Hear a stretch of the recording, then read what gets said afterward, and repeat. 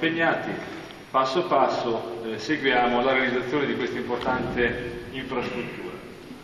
E siamo arrivati ad un passaggio significativo, la gara è stata fatta, la ditta individuata, avete visto il cronoprogramma fra la firma del contratto fino a tutti i passi successivi, l'avvio dei lavori e via dicendo, quindi quest'opera che ha avuto dei tempi lunghi insomma, in termini di maturazione, soprattutto perché a un certo punto sono venute meno le risorse, procede secondo i canoni e percorsi, chiamiamoli ordinari.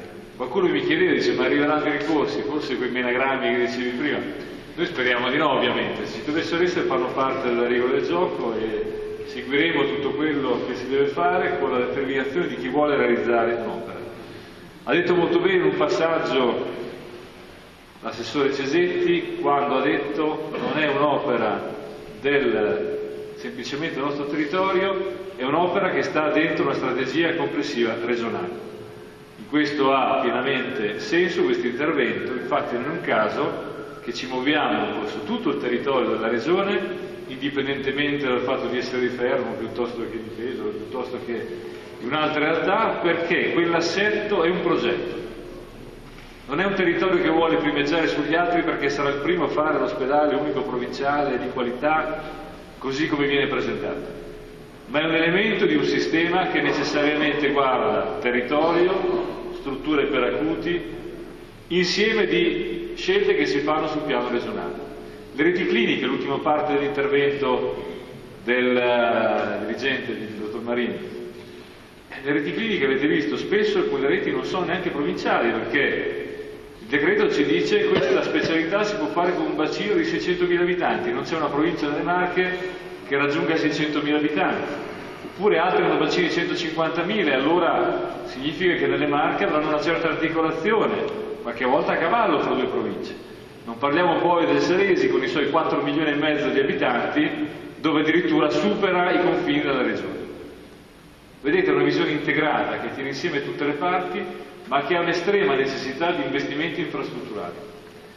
Non siamo all'investimento per l'investimento, al desiderio di fare un'opera nuova, di segnare, legare il proprio nome a un passaggio importantissimo, quasi storico in Italia quando si fa gli ospedali. Se ne fanno ogni cent'anni, qui diventa storia, in realtà andrebbero fatti molto più frequentemente e farebbero parte di un'altra mentalità, che è la qualità della gestione. Lui diciamo, per i nostri meccanismi è storia. Io credo che siamo di fronte a un elemento essenziale dentro una strategia complessiva, dove l'infrastruttura riassume la necessità di portare in spazi adeguati quello che è un servizio profondamente modificato. Il nostro pensiero sugli ospedali credo sia, lo so, eh, lontano di luce da quello che avevamo solo vent'anni fa. Immaginiamoci quello precedente. Pochi ospedali per acuti, di grande qualità, concentrazione delle tecnologie, possibilità di rispondere al meglio in termini di eh, bisogno di salute dei nostri cittadini. Rete territoriale che accoglie il prima e il dopo dell'ospedale, possibilmente dentro casa. Questo è il disegno complessivo. E noi ci stiamo a pieno, con il coraggio di chi vede prevalere, come ha detto molto bene nella sua presentazione eh, del progetto, la centralità della persona e delle sue necessità e di un sistema che si organizza per questo obiettivo e non per esigenze interne, non per necessità eh, che hanno altre finalità che non siano la salute dei cittadini. Questo è un po' il senso dell'operatore. Lo facciamo con grande trasparenza, facciamo in modo che tutti i passaggi siano evidenziati, ci mettiamo la faccia, ci prendiamo la responsabilità, chiediamo a ognuno di svolgere al meglio il proprio compito, di collaborare, di stare dentro questo percorso. Ci sono degli aspetti a lato molto importanti, uno è quello che veniva detto, dei collegamenti, delle viabilità, è chiaro che la posizione strategica, ma andranno fatti degli investimenti per eh, fare sì che il servizio di questa infrastruttura centrale sia il più possibile collegato. Certo, il fatto che la terza corsia eh, non ha fatto per intero il suo percorso oggi è un limite ed è uno degli elementi che sui tavoli nazionali cerchiamo di recuperare. Ma quello che si può fare su scala locale è altrettanto importante perché queste infrastrutture nuove hanno il vantaggio di essere meglio collocate nella rete della viabilità, di avere parcheggi a disposizione, di essere servizio a tutto tondo. Andrà integrata l'opera anche con il discorso del trasporto pubblico locale, con le gare che andremo a fare, dovremo tener conto che c'è un'infrastruttura nuova che va servita anche dai collegamenti del trasporto pubblico locale. E in questa visione di sistema non è secondario lo diceva, lo diceva Sindaco, l'altra volta l'abbiamo detto assieme, anche il destino del Murri nel ridisegno dei servizi, perché vedete qualche anno fa si diceva si vogliono fare nuovi ospedali perché si vuole speculare su quelli vecchi, no? La speculazione è morta con la crisi, ma non è neanche passata dall'anticamera del cervello nel passaggio che stiamo gestendo oggi. Cioè l'interesse è invece riutilizzare nello stesso tempo in cui realizzeremo questo ospedale, destinare ogni spazio, fare sì che in un tempo estremamente breve, usciti dalla vecchia struttura, lì entrino i servizi che sono importanti e necessari a mantenere vivo quel luogo e dentro questa rete più complessiva che riguarda il servizio su scala territoriale. Ci sono aspetti che con la concentrazione per acuti sono diventati estremamente importanti. Allora, abbiamo detto che la qualità si dà in pochi ospedali per acuti.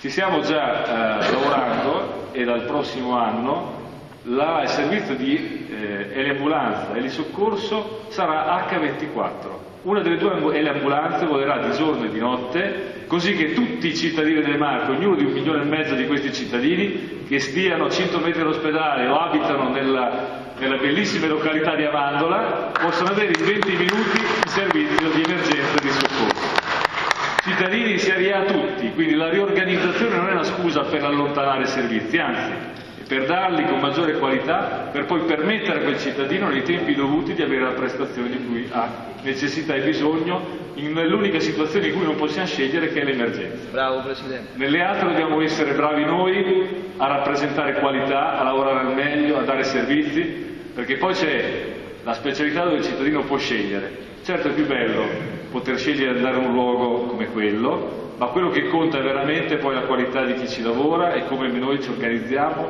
con quali tempi, con quali modalità e con quale eh, capacità offriamo servizi. Quindi la sfida è per tutto il sistema. Io mi sento pienamente dentro questa sfida, lavoriamo con coerenza, dichiarando gli obiettivi e lavorando per realizzarli. Spero che ognuno di noi, tutti quelli che sono qui in questa sala, perché ognuno può portare un proprio mattoncino a questa costruzione. Non è il risultato del Presidente che si illumina del, del risultato dell'ospedale, è un risultato che dobbiamo sentire ognuno come il nostro. Io chiedo veramente a tutti i presenti, a chi può portare il suo mattone di farlo, perché costruiamo un bene essenziale che è il bene della salute della nostra comunità.